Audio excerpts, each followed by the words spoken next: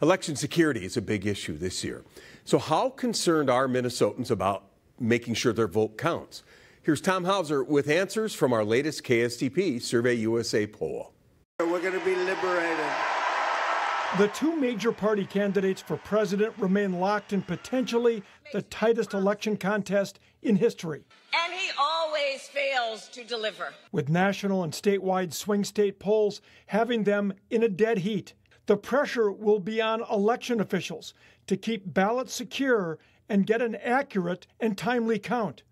According to our KSTP SurveyUSA poll, 47% of Minnesota voters have a great deal of confidence in a secure election. 29% some confidence, 14% a little, and 6% no confidence at all.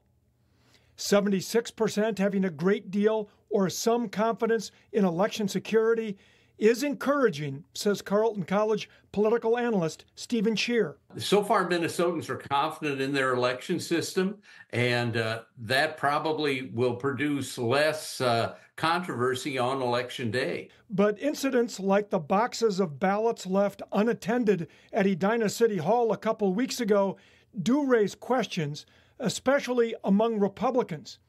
25% of Republicans are confident in election security, 69% of Democrats, 43% of independents. There are questions raised about election administration, but Minnesotans generally have higher levels of trust in government than Americans do overall, and this is an example of that. Regardless of who wins, we asked Minnesotans if they think there will be a peaceful transfer of power.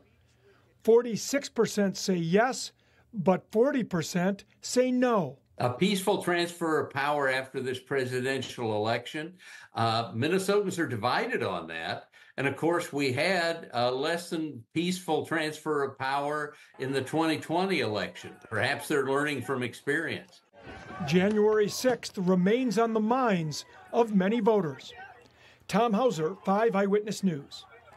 And you can learn more about what's on your specific ballot and where you can vote by checking out our election guide. You'll find it on the free KSTP mobile app and at kstp.com.